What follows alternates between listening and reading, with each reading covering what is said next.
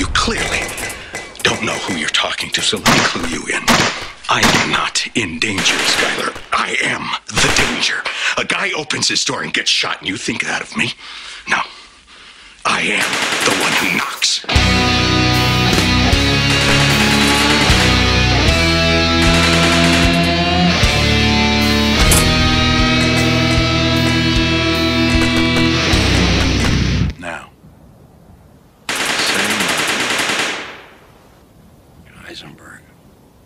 You're goddamn right.